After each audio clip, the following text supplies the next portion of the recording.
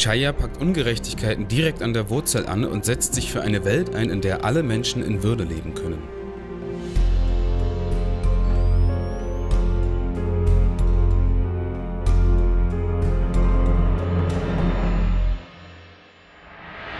Wir haben Chaya zufällig gegründet, würde ich sagen. Es war im Grunde ein Fehler von mir und meiner Freundin aus Österreich, mitten im Monsun in Nepal trecken zu gehen.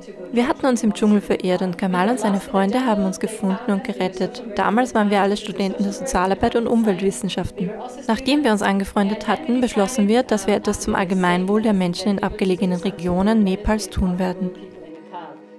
Chaya Nepal ist in den Bereichen Gesundheit, Bildung und Umweltschutz tätig. Unser Ziel ist es, jene Menschen zu unterstützen, die in schwer erreichbaren Regionen und in besonders armen Verhältnissen leben. Nach dem Erdbeben im Jahr 2015 konnten wir in sehr kurzer Zeit mehr als 8000 Menschen unterstützen. Später kamen sie auf uns zurück und baten uns um Hilfe. Bis jetzt hat Shaya mehr als 20 Schulen und sechs Gesundheitsstationen errichtet und mehrere Projekte zur Schaffung von ökologischem und nachhaltigem Lebensunterhalt umgesetzt. All dies wurde in den entlegensten Gebieten der Welt durchgeführt. Mit Ihrer Unterstützung können wir das Leben vieler Menschen retten und ihre Lebensgrundlagen wieder aufbauen. Danke, dass Sie uns helfen, Menschen aus Notlagen zu befreien.